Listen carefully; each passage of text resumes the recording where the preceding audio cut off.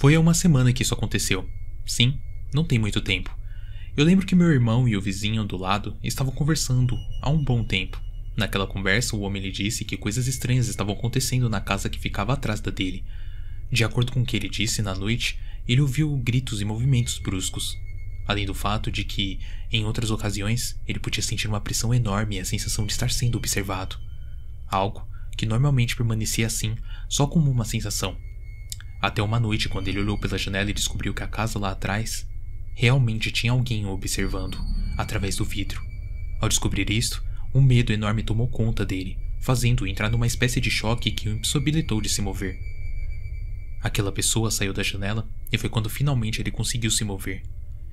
Ele ainda estava extremamente assustado, pensando no que diabos era aquilo e o que, que tinha acabado de acontecer. De acordo com a sua história, isso estava acontecendo quase diariamente. Essa situação o deixou bem desgastado.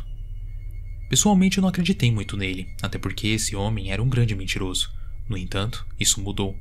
Uma madrugada, quando alguns gritos muito altos acabaram me acordando. Eles vieram daquela casa, a casa que meu vizinho alegou ser assombrada ou algo assim. Alguns minutos depois, foi possível ouvir alguns móveis se movendo. Aquilo era horrível de se ouvir.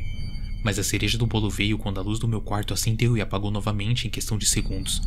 Meu irmão e eu olhamos um para o outro visivelmente consternados e assustados, tentando adivinhar o que estava acontecendo enquanto os barulhos continuavam. Nós dois decidimos deixar o quarto cheio de medo, ouvindo enquanto nosso cão corria pelo quintal latindo e fazendo barulho muito desesperado. Minutos depois, tudo voltou ao normal. Nós nunca encontramos um sentido para isso, então decidimos não contar a ninguém. Recentemente, o nosso vizinho mudou-se sem nenhuma razão aparente e sem nos dizer nada. Um dia, ele apenas embalou tudo e se foi. Felizmente, nada semelhante aconteceu conosco novamente, mas o medo não foi embora, e sinceramente, enquanto eu continuar vivendo aqui, eu acho que esse medo nunca vai ir.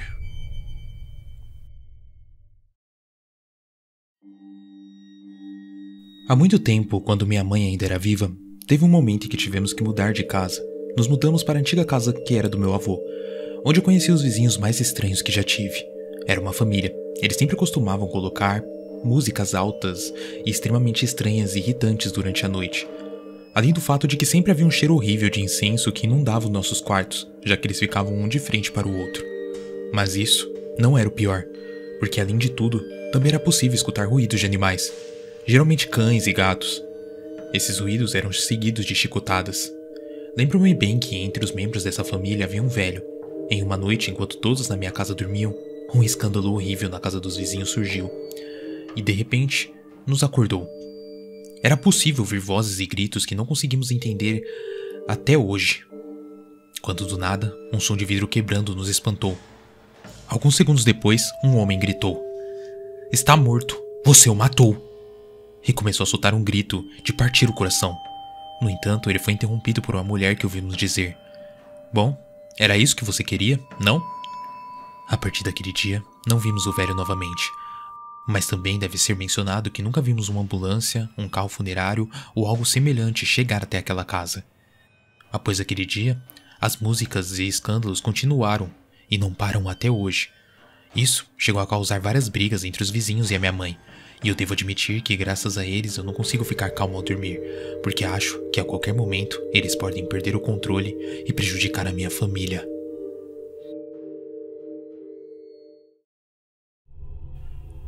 Bem, eu acho que não há nada de paranormal na minha história, mas também acho que muitas vezes essas são precisamente as mais aterrorizantes. Isso aconteceu há muito tempo, logo depois que a vida começou a voltar ao normal, após a pandemia. Eu lembro que naquela época eu tinha ataques de pânico de vez em quando, porque eu pensava muito na morte. Em uma daquelas ocasiões em que os ataques não me deixavam dormir, fiquei acordado pela madrugada, quando de repente comecei a ouvir os gritos de uma mulher. Rapidamente corri para a janela, mas eu não conseguia ver nada. Então eu acordei o meu marido e nós dois saímos de casa para descobrir o que estava acontecendo. No entanto, não conseguimos ver nada, só apenas ouvimos os gritos, cada vez mais e mais altos. Porém, agora parecia que também havia um homem chamando o outro. Pensamos que talvez alguém tivesse morrido. Então, meu marido correu para onde o escândalo foi ouvido, mas não antes de avisar os vizinhos através do nosso grupo no WhatsApp. Fiquei em casa ouvindo toda a comoção à distância, até que vi passar uma patrulha policial indo para aquele lugar.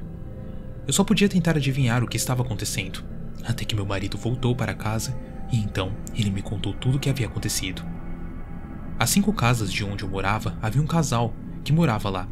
Eles tinham sido o protagonista de uma briga, onde a mulher alegou que ela havia sido possuída por um demônio que estava ordenando que ela esfaqueasse o seu marido. E embora ela não quisesse, a influência do demônio era muito mais forte. Isso fez com que ela esfaqueasse o homem que estava sentado em seu carro. Os gritos de partir o coração eram do marido pedindo ajuda enquanto os vizinhos se aproximavam para tentar estancar o sangramento que ele estava sofrendo enquanto a ambulância chegava. Tudo isso aconteceu enquanto meu marido segurava a mulher que apenas olhava para ele, enquanto murmurava coisas a qual ele não conseguia entender. No final, a polícia ia prender a mulher, mas seu cunhado disse aos policiais que eles não iriam prestar queixa em troca dela se afastar definitivamente do irmão. Felizmente, naquela mesma noite a mulher foi embora, e dois dias depois o homem fez o mesmo. Pouco depois descobrimos que a mulher praticava feitiçaria, e que foi isso que fez ela ter esse tipo de comportamento. O mais estranho é que eu não vi nenhum deles novamente, nenhum dos dois, mas isso me deixou marcada até hoje. O estranho é que a casa ainda tá lá, e até hoje ninguém comprou. Acredito que é pelo fato de ser um cenário de assassinato. Eu realmente não sei.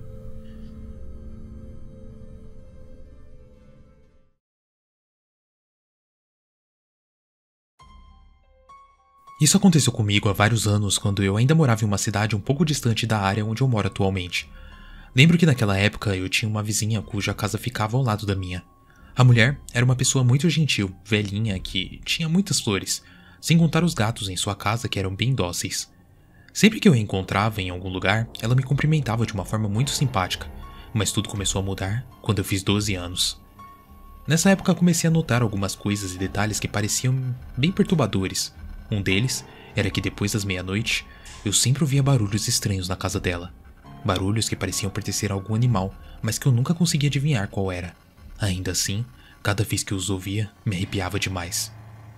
Um dia, eu e um grupo de amigos resolvemos esperar a senhora sair para podermos entrar na casa dela e bisbilhotar. Sim, eu sei que não é a coisa certa a se fazer, mas a curiosidade era maior. À primeira vista, parecia uma casa normal.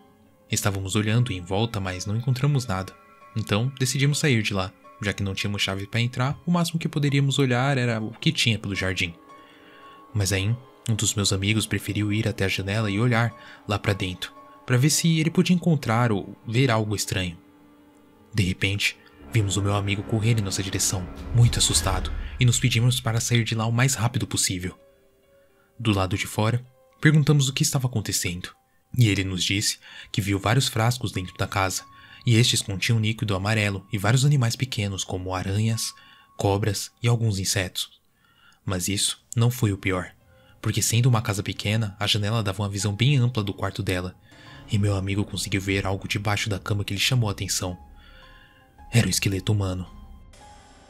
Nesse momento, ele decidiu que deveria correr, mas pouco antes de sair da janela, ele viu algo dentro da casa, uma espécie de silhueta que apareceu rapidamente como se estivesse vigiando a casa. Foi nesse momento que ele gritou e começou a correr para nós. Depois de saber tudo isso, decidimos não tentar investigar nada sobre aquele lugar, Porém, o tempo passou e a mulher acabou falecendo.